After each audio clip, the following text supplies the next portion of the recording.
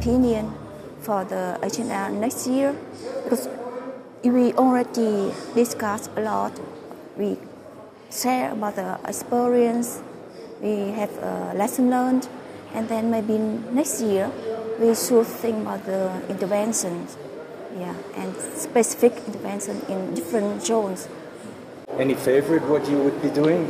In the case of my country, in Vietnam, we want to learn and want to apply, adopt the, the things, the resource from different zones, but we have to select the suitable for my country.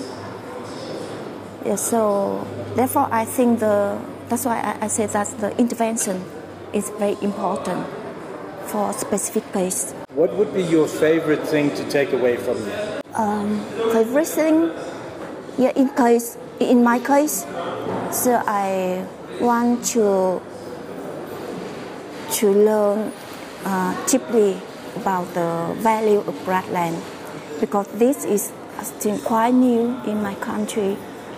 Now we try to, to, to focus in this point, the grassland, because we have a um, mixed cropping system with livestock.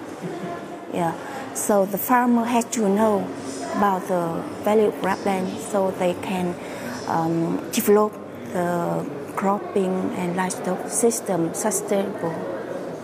Yeah, this is what we can learn from the global agenda.